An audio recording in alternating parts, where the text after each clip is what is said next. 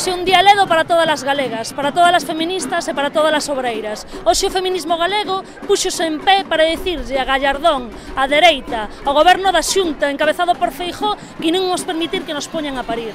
Hoxe foi polo, por unha manifestación polo noso dereito a decidir, polo dereito ao aborto.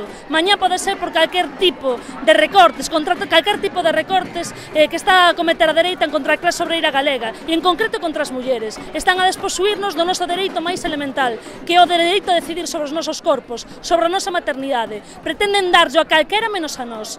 Isto é unha mostra de que as galegas, se nos unimos, se somos quen de estar na rúa, se somos quen de amosar o noso rexeitamento a, este, a esta política de retrocesos contra os nosos dereitos, vamos a ser quen de facelas parar, vamos a ser quen de mudar a orde establecida e imos ser quen de derrogar deste este goberno corrupto e este goberno que ataca os nosos dereitos.